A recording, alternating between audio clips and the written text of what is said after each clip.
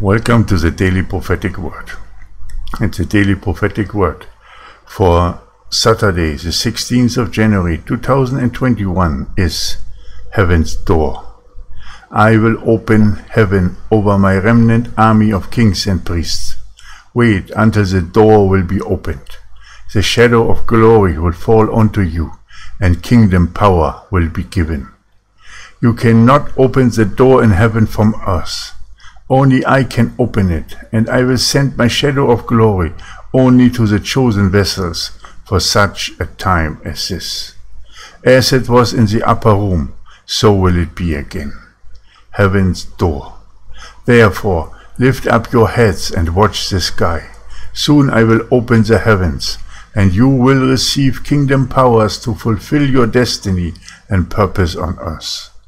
Then transformation and the forty days with my only begotten Son Jesus will follow. All what I have given my messengers through dreams and visions will be fulfilled. My promises will come true. Heaven's door. Wait for it and do not get distracted by what is going on in your nations and neighborhoods. The enemy knows the time and he is on the move also. He knows that I will open heaven soon. Do not be afraid when you will receive my kingdom powers through the shadow of glory. It might be different from what you expect, but embrace it and walk with it. I am sending you treasures from heaven.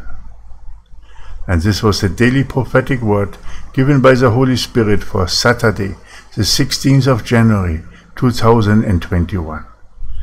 The heavens will open, brothers and sisters, will open over us who have separated ourselves to be part of the remnant army of kings and priests, who are part of Operation Kingdom, who are standing for the kingdom of God, willing to bring in the harvest of the ages and to prepare the way for our Lord and Savior Jesus Christ, willing to be the harvest workers, the messenger of Luke 10, verse 1 to 23 willing to stand and walk with Jesus and to be in his image, to be a true son and daughter of the Most High. Wait for it. The heaven will open over you soon. Be blessed in the name of the Father, the Son, and the Holy Spirit. Amen and amen. Maranatha.